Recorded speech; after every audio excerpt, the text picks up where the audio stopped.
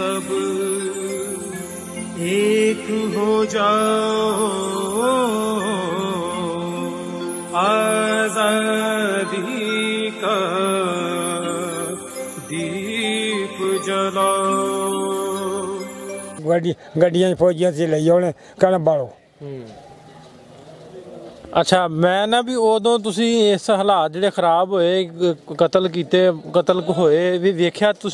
ਬਹੁਤ ਦੇਖਿਆ ਜੀ। ਐਨੇ ਦੇਖਿਆ ਤੁਸੀਂ ਜੇ ਪੁੱਛੋ ਨਾ ਤਾਂ ਦਿਲ ਜਲ ਦਿਲ ਫਟ ਜਾਊਗਾ।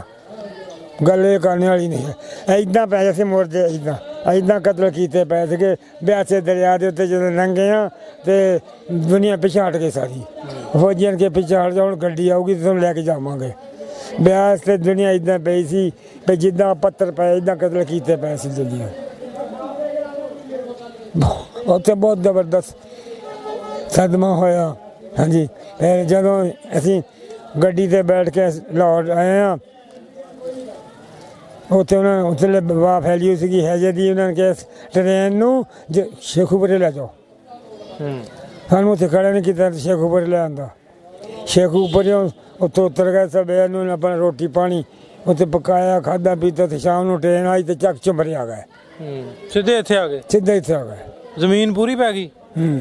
ਅੱਛਾ ਇਹ ਦੱਸੋ ਵੀ ਉਹ 47 ਵਾਲੀ ਜਿਹੜੀ ਕਤਲ ਵਗਾਰਤ ਹੋਈ ਆ ਹਾਂਜੀ। ਉਹ ਚੇਤਾ ਆਵੇ ਜਿਉਂ ਜ਼ਿਹਨ ਚ ਆਵੇ ਗੱਲ ਕਿਵੇਂ ਦਾ ਮਹਿਸੂਸ ਹੁੰਦਾ? ਰੋ ਮੈਂ ਰੋ ਮੈਂ ਰੋਣ ਆ ਜਾਂਦਾ ਜੀ ਇਸ ਵੇਲੇ। ਇਹ ਦੱਸਣ ਵਾਲੀ ਗੱਲ ਨਹੀਂ ਮੈਂ ਇਹ ਨਾ ਪੁੱਛੋ ਹੀ ਨਾ। ਨਹੀਂ ਦੱਸੋ ਤੁਸੀਂ ਅਸੀਂ ਸਾਰਿਆਂ ਨੂੰ ਵਿਖਾਉਣੀ ਇਹ ਗੱਲ ਆ ਵੀ ਹੋਇਆ ਕੀ? ਐਨੇ ਜ਼ੁਲਮ ਕੀਤੇ ਇਹਨਾਂ ਨੇ ਅੰਮ੍ਰਿਤਸਰੀਆਂ ਨੇ ਕੀਤੇ ਸਾਰੇ ਜ਼ੁਲਮ। ਹਾਂ। ਅੰਮ੍ਰਿਤਸਰੀਆਂ ਨੇ ਧੀਆਂ ਨੂੰ ਭੈਣਾਂ ਨੂੰ ਮਾਵਾਂ ਨੂੰ ਸਾਹਮਣੇ ਕਤਲ ਕੀਤਾ। ਇਹ ਅੰਮ੍ਰਿਤਸਰੀਆਂ ਨੇ ਕੀਤਾ ਸਾਲਾ।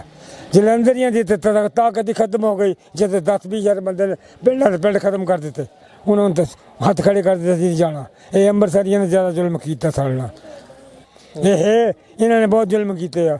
ਇਹਨਾਂ ਨੇ ਜਨਾਬੀਆਂ ਇਹ ਸਟੇਸ਼ਨ ਤੇ ਗੱਡੀ ਆਉਣੀ ਤੇ ਤਲਵਾਰ ਲਾ ਕੇ ਗੱਡੀਆਂ 'ਚ ਬਣਨਾ ਫੌਜੀਆਂ ਨੇ ਕਈ ਹਜ਼ਾਰ ਉੱਥੇ ਬੱਚੇ ਮਾਰਿਆ।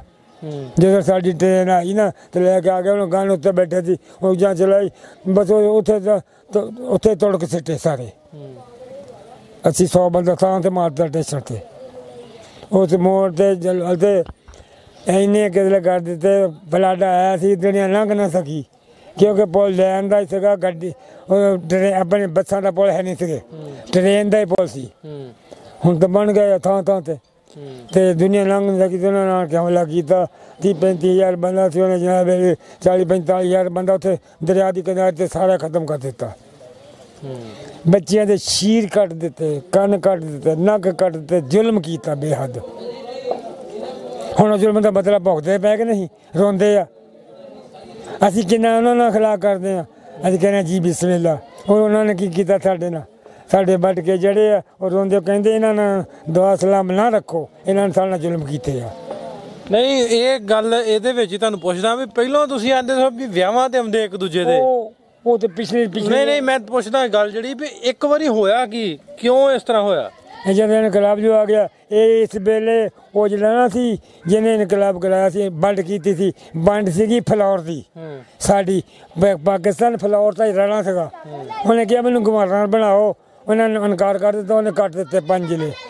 ਅੰਮ੍ਰਿਤਸਰ ਜਲੰਧਰ ਹੁਸ਼ਿਆਰਪੁਰ ਲੁਧਿਆਣਾ ਫਿਰੋਜ਼ਪੁਰ ਪੰਜ ਜ਼ਿਲ੍ਹੇ ਕੱਟ ਦਿੱਤੇ। ਇਹਨਾਂ ਪੰਜਾਂ ਜ਼ਿਲ੍ਹਿਆਂ ਨੇ ਜ਼ੁਲਮ ਕੀਤਾ। ਉਹਨੂੰ ਲਾਲਚ ਦੇਤਾ ਵੀ ਤੁਹਾਡਾ ਖਾਲਿਸਤਾਨ ਬਣਾਉਣਾ, ਤੁਹਾਡੇ, ਤੁਹਾਡਾ ਇਲਾਕਾ ਆ। ਤੁਸੀਂ ਇਹਨਾਂ ਨਾਲ ਜੋ ਮਰਜ਼ੀ ਕਰੋ। ਇਹਨਾਂ ਨੇ ਜ਼ੁਲਮ ਕੀਤੇ ਇਦਾਂ ਉਹ ਮਾਰੀ ਵੱਡੀ ਗਏ। ਹੁਣ ਕੌਣ ਜਦੋਂ ਹਕੂਮਤ ਕਹੇ ਮਾਰੀ ਜੋ ਜਿੱਦਾਂ ਹੁਣ ਬਰਮਾ ਦੇ ਵਿੱਚ ਕਿੱਦਾਂ ਕਿੱਦਾਂ ਮੁਸਲਮਾਨਾਂ ਨੂੰ ਹੁੰਦੀ ਆ? ਡੱਕਦੇ ਆ ਹਕੂਮਤ? ਨਹੀਂ ਨਾ ਡੱਕਦੀ। ਇਸੇ ਤਰ੍ਹਾਂ ਉਹ ਵੀ ਨਹੀਂ ਸੀ ਡੱਕਦੇ ਸੀ। ਨਾਲੇ ਉਹ ਉਹ ਭੈਣ ਚੋ ਉਹ ਸੀਗੇ ਬ੍ਰਾਹਮਣ ਖੱਤਰੀਆਂ ਦੀ ਹਕੂਮਤ ਨਹੀਂ ਸਿੱਖਾਂ ਦੀ ਹਕੂਮਤ ਨਹੀਂ ਨਾ ਕਰਾੜਾ ਦੀ ਹਕੂਮਤ ਆ ਨਾ ਚਮਿਆ ਚਮਿਆਰਾਂ ਦੀ ਹਕੂਮਤ ਆ ਨਾ ਚੂੜਿਆਂ ਦੀ ਨਾ ਸੈਂਸੀਆਂ ਦੀ ਐਨੇ ਕੌਮਾਂ ਉੱਥੇ ਬਾਦੀਆਂ ਸਿਰਫ ਉਹਨਾਂ ਬ੍ਰਾਹਮਣਾਂ ਦੀ ਹਕੂਮਤ ਆ। ਬ੍ਰਾਹਮਣ ਜੋ ਮਰਜ਼ੀ ਕਰੀ ਜਾ ਸਭ ਕੁ ਕਰਾਈ ਜਾਂਦੇ ਆ ਜੋ ਮਰਜ਼ੀ ਕਰੀ ਜਾਓ। ਇਹ ਸੀਗੇ ਖੱਤਰੀਆਂ ਦੇ ਪੀਰ ਬ੍ਰਾਹਮਣ। ਸਿੱਖਾਂ ਦੇ ਸੀਗੇ ਸਾਧੂ ਜਿਹੜੇ ਗੁਰਦੁਆਰੇ 'ਚ ਰਹਿੰਦੇ ਸੀਗੇ। ਤੇ ਇਹਦੇ ਇਸ ਤੋਂ ਬਾਅਦ ਇਹਦੀ ਕੋਈ ਜਿਵੇਂ ਆਂਦੇ ਵੀ ਪੂਰੀ ਦੁਨੀਆ ਤੇ ਕਿਤੇ ਵੀ ਕੋਈ ਜ਼ੁਲਮ ਹੋਵੇ ਇਸ ਤਰ੍ਹਾਂ ਦੇ ਹੋਵੇ ਇਨਕੁਆਇਰੀ ਹੁੰਦੀ ਹੈ ਇੱਕ ਜਿਹੜੀ ਯੂਨਾਈਟਿਡ ਨੇਸ਼ਨ ਨੇ ਇਨਕੁਆਇਰੀ ਬਿਠਾਉਂਦੀ ਕੋਈ ਹੋਈ ਇਨਕੁਆਇਰੀ ਉਦੋਂ ਕਿ ਕੋਈ ਨਾ? ਕਿ ਇਨਕੁਆਰੀ ਕਿਹਨ ਕਰਨੀ ਸੀ ਜੀ? ਇਨਕੁਆਰੀ ਇਹਨਾਂ ਨੇ ਕਰਨੀ ਸੀ ਇਹ ਵਿਚਾਰੇ ਇਹਨਾਂ ਦੀਆਂ ਫੌਜਾਂ ਤਾਂ ਬਾਹਰ ਸੀਗੀਆਂ ਪਾਕਿਸਤਾਨ ਦੀਆਂ। ਇੱਥੇ ਉਹਨਾਂ ਨੇ ਹਮਲਾ ਕਰ ਦਿੱਤਾ।